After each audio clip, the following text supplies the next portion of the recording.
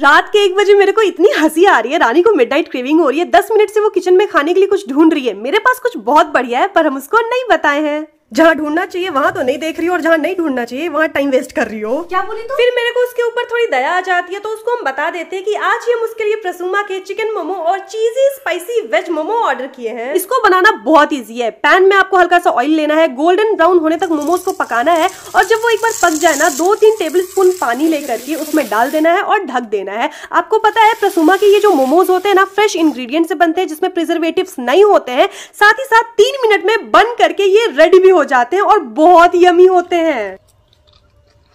वाह रानी ये बहुत अच्छा है। सीरियसली बहुत टेस्टी है। हम जा रहे इसको पूरा खत्म करने। एक मिनट दीदी ये प्लेट हमको दे दो। तुम जाके अपने लिए दूसरा बना लो ना। ठीक है हम जा रहे अपने लिए दूसरा बना लेने लेकिन हाँ आप लोग भी इसको ज़रूर ट्राई करना। प्रोडक्ट लिंक आपको कमेंट बॉक्स में पिन किया हुआ मिल जाएगा।